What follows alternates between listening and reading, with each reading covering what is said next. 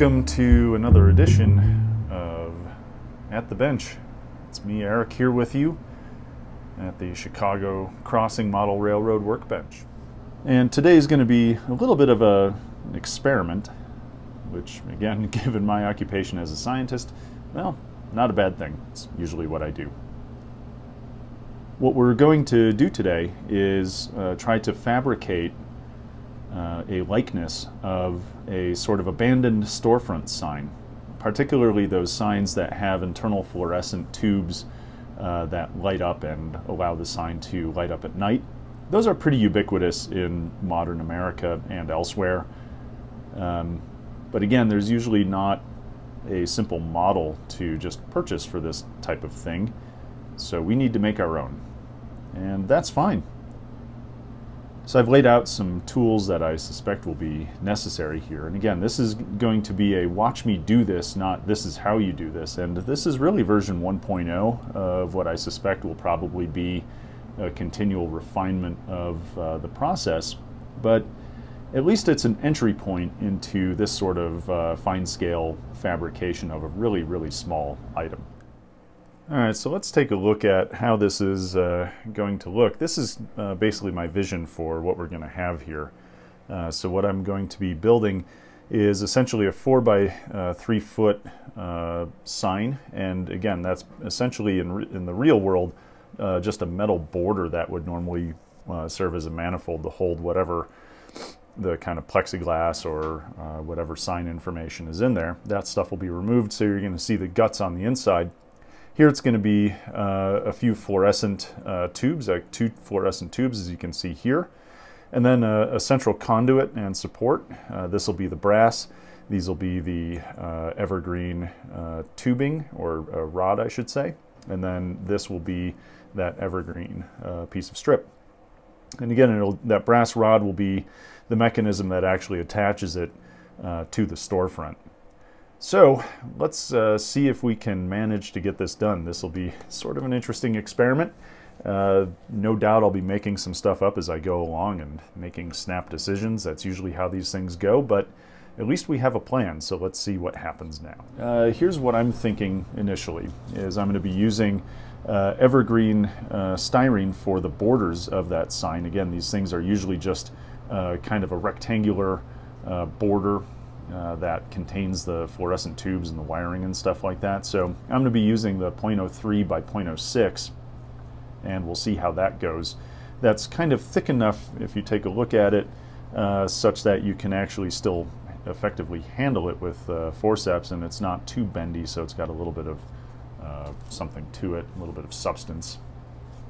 And then for uh, the fluorescent tubes, I'm going to be using a 0.035 uh, inch uh, rod, uh, also an evergreen uh, product, and that will basically sit within uh, that uh, rectangular border. And then lastly, I'm going to be affixing it to the building and kind of using as the central wiring conduit some of this. This is 0.5 millimeter brass rod. The reason I want to use brass rod for that is because main thing is I need something that will attach to the building uh, that is non-bendable, or at least not easily bent as uh, much so as uh, styrene plastic. So this will be uh, for that purpose. First things first is I'm measuring out the strips using a scale ruler. This allows me to identify 3 feet by 4 feet in 1 160th scale rather than trying to guess making some simple pencil marks here. And then I'll take it to uh, the chopper and cut the pieces. Now when working with stuff this small, it's almost impossible to get an exact cut every time. So after I'm done cutting the pieces, then I basically just put them against each other and make sure that they are exact uh, duplicates in terms of their size.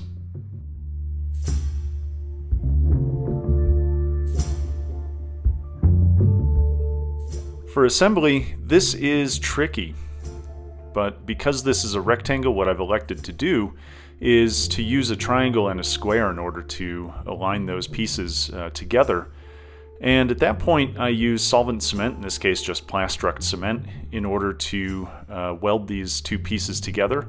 I'm starting out just doing the corners. As you can see, this is fiddly work.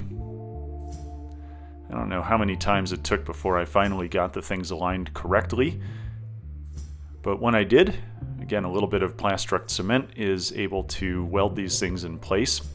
again, you can see exactly how fiddly this stuff is. Perseverance pays off. I've got two corners.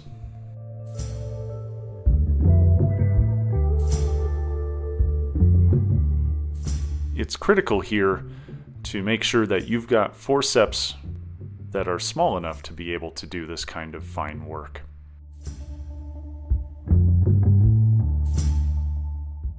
Next up, I'm cutting the fluorescent tubes. I had glued together the uh, strip stock such that these tubes would also be uh, four feet long. And that way they would fit more or less directly into uh, the border of the sign. So now I'm coming back and welding together the complete rectangle of the sign. Here my thinking is basically to put the tubes in afterwards.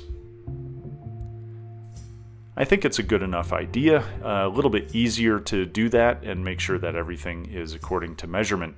With those little tubes, it was actually important to go back and trim them with a number 11 blade uh, to fit exactly within that rectangle.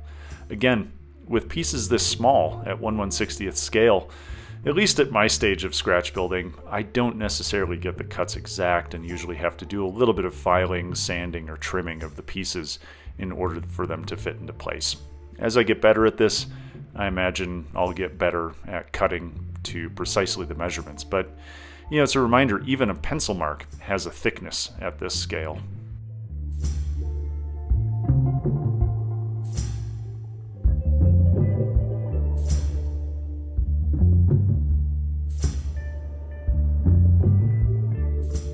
Next up, I'm putting in the tubes. Here I've elected to use CA glue rather than to try to weld them in, and it's mostly because I need a little bit of time to maneuver these pieces into place. Notice again the size of the forcep that I'm using. This is tiny stuff. I can't emphasize that enough. In fact, you notice my finger trying to balance that thing. Really, I should be doing what I did here, which is basically to go back and use forceps and you have to be careful. There we go.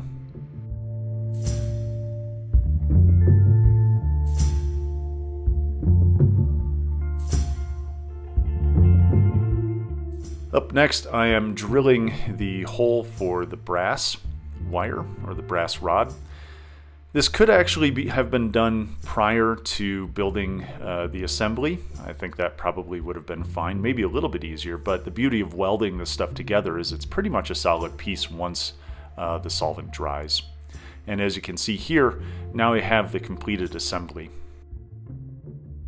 So with that, it's time to uh, sand it. Again, the glue is never uh, entirely clean or the cement is never entirely clean. Uh, I also want to put a little bit of tooth on there for painting.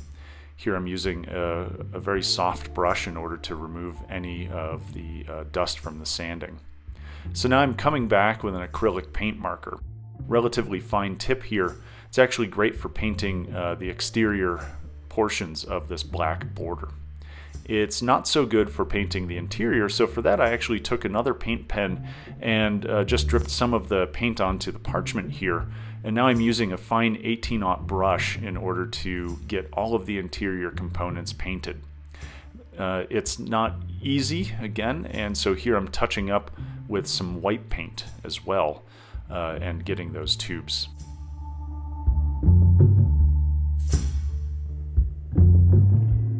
Coming back afterwards, again, there's always a little bit of touching up here. At some point, you uh, get it to where it looks acceptable.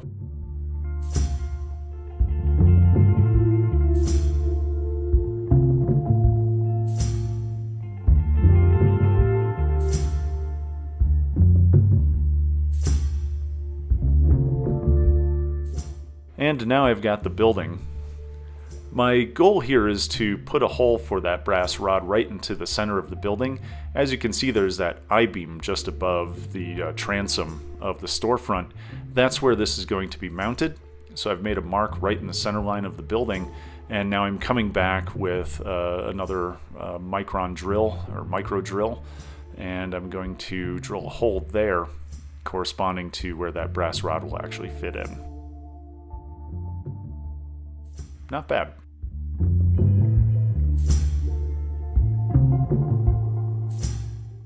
And time for another mildly fiddly part, which is basically just getting everything in there. I've uh, applied CA glue to the interior of the building, not to the exterior, but rather to the interior.